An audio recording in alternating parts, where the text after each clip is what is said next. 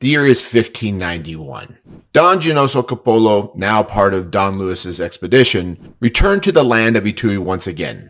This time, the stakes are higher, the mission more perilous.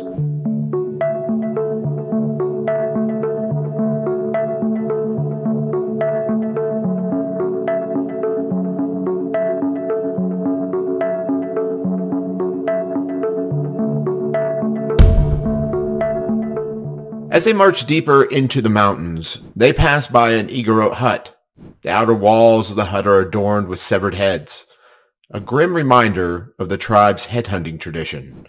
The sight triggers a flashback in Don Dionisio. He remembers a childhood trading expedition with his father, where he met his first Igorot. The chief's face was tattooed, his teeth filed to a point. The chief had offered two severed head as a gift to his father, the casual manner in which the chief treated these heads had terrified the young Dionisio. But what his father was really after was the gold bracelets, a symbol of wealth and power.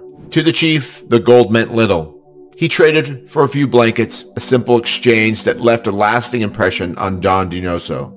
The complexities of Ituy were deeply ingrained in him from that young age. Don Luis, accompanied by a contingent of 70 to 80 Spanish soldiers and numerous Indian chiefs from La Panga, set forth on a journey that would etch itself into the annals of history. Upon reaching the river Tuy, today known as the Magat River, the gateway to the province, Don Luis ordered a cross to be erected on a tree. He thanked God and took possession of the land in the name of His Majesty on July 15, 1591. The following day, Don Luis approached the inhabitants of the village of Tuy. With a blend of diplomacy and gifts, pieces of cloth, garments, beads, and combs, he won their allegiance.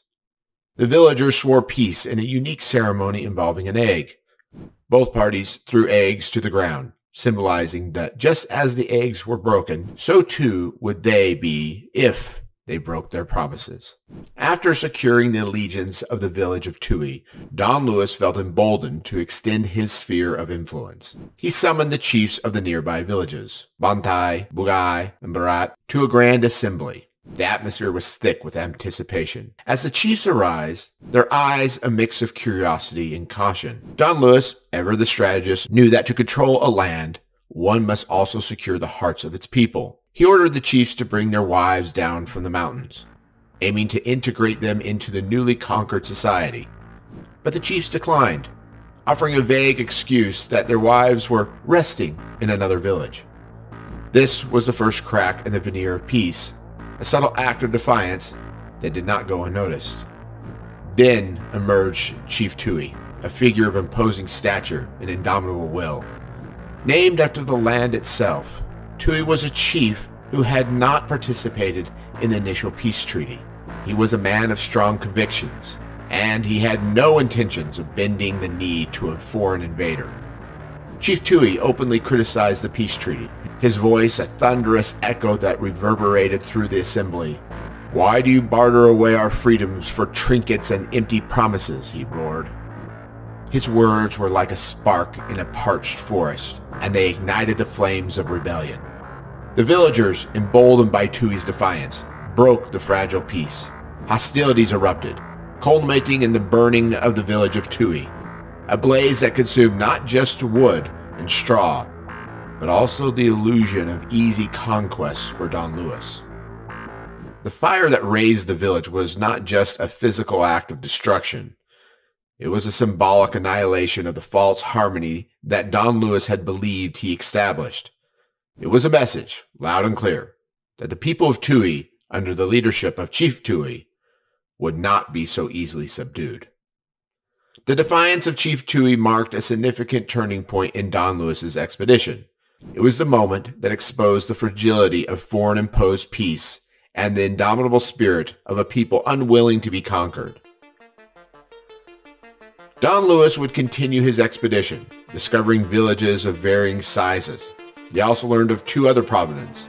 The chiefs of these villages begged for pardon and swore another oath, this time involving candles.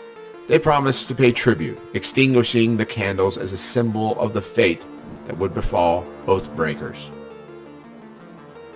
While in Dunglai, Don Luis's expedition ran out of provisions.